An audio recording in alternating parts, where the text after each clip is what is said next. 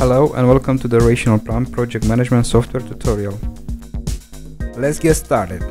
RationalPlan is a project management software designed to help both project managers and teams to create consistent project plans, allocate resources and analyze workload, track work progress, estimate projects cost and manage budgets. The first step in creating your project is defining the general data of your project. This is where the project starts. Usually a name and maybe a code are used to identify each project. If known, a start date can also be set, so you can get back to this step at any time to set or change it. A short, concise description of the project objective could also be useful.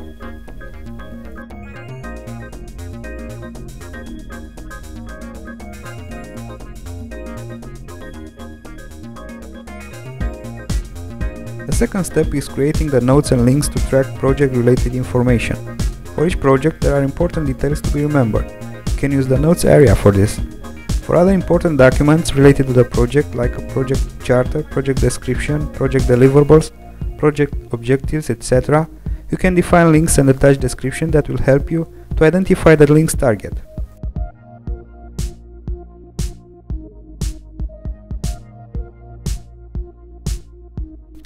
The following step in creating your project is defining the project working time. Use calendars to specify working times for resources or to schedule project tasks. Calendar Editor helps to create custom calendars. To define special days, click on Set Holidays, Days Off and other special days tag.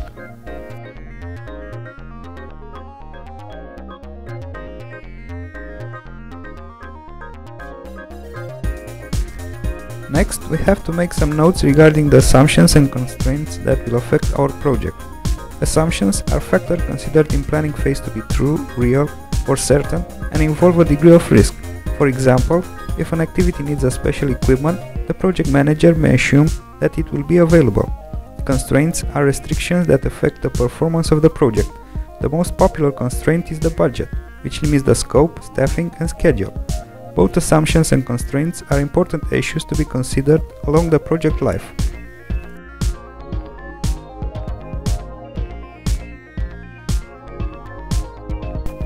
Next step is about identifying the risk. Risk management is an important aspect of the project management. Identifying project risk and set the impact level and the probability to occur. Think about a risk response plan to reduce threats to the project's objectives and describe it in the notes area below the table.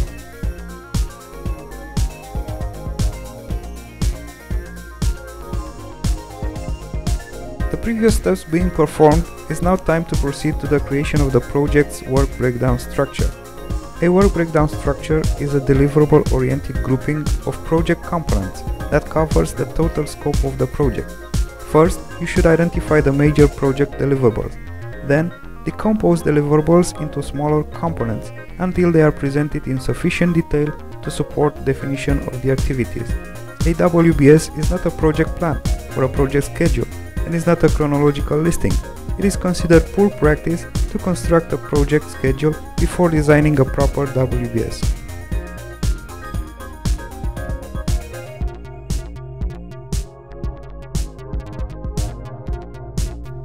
We can define now the project activities. In this step, you have to identify the activities that must be performed to produce deliverables composing the work breakdown structure.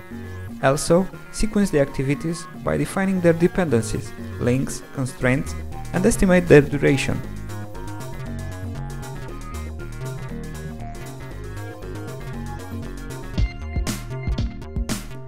Human resources and equipment. Based on the project activities, identify the necessary personnel and equipment. You can assign a calendar for each resource, as well as define unique exceptions such as vacation, days off, etc. Different cost rates can be defined for normal working hours and overtime hours.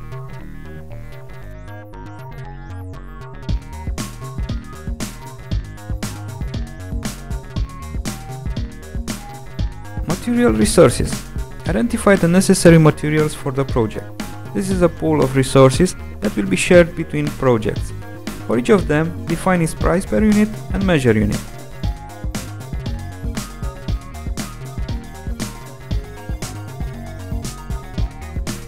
After that, you can assign resources to tasks. For each task, select resources that will accomplish it, and fill in the units of the resource task assignment.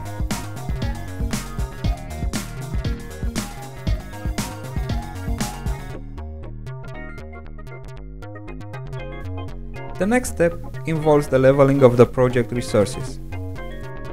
The multi-project version allows you to share resources between projects, because it is possible to have over-allocated resources in one project due to their assignment on another project, it may be needed to view all projects in case of an over-allocation over multiple projects. Over-allocated resources, as well as resources that work overtime hours, will appear in red, respectively yellow color check the timesheet area and zoom in out to spot the exact period when the problem occurs. Both task and resource details are available in this view, so you can easily reallocate resources or take other actions to solve the over-allocation issue.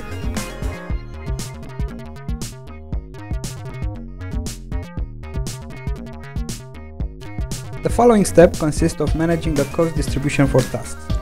Here is where you can add other task costs, except with resources, and their accrual method. Task cost distribution in time is available at the right side.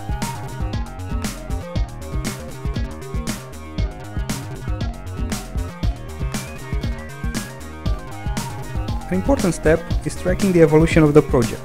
This view provides a way to monitor the project evolution while updating the schedule with the information about the task completion. The completed part of a task will be marked in the Gantt chart with a darker color. You can also update task duration so the schedule will match the actual project evolution.